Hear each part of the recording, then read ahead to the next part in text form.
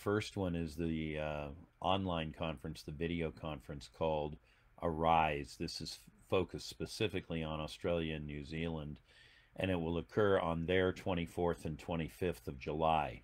In the United States, it'll be the 23rd and 24th, uh, generally occurring in the evenings, uh, because we have to think about who our audience is and we have to target that side of the world. Some people have asked me, I live in the United States, what do I care about what's going on in Australia or New Zealand? So I thought I would address that here.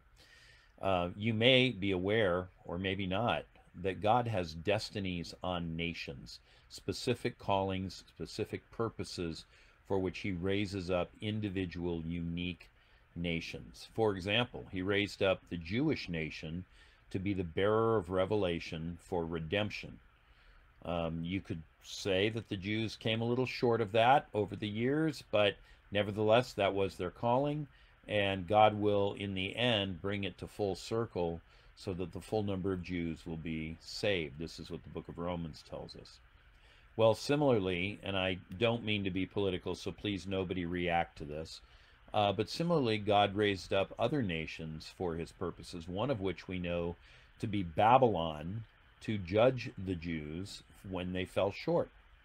Later, the Persians came along, and King Cyrus defeated the Babylonians, and with that, uh, the Persian Empire succeeded Babylon, Persia was God's instrument for judging the harshness that the Babylonians used in what they did to the Jews. So nations have destinies. Well, Australia and New Zealand jointly have a destiny. It was prophesied over 400 years ago by a Portuguese sea captain named Pedro Fernando de Quiros.